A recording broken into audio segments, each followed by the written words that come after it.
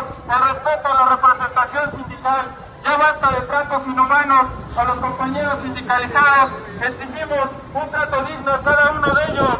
Se ve, se siente, la fraude está presente.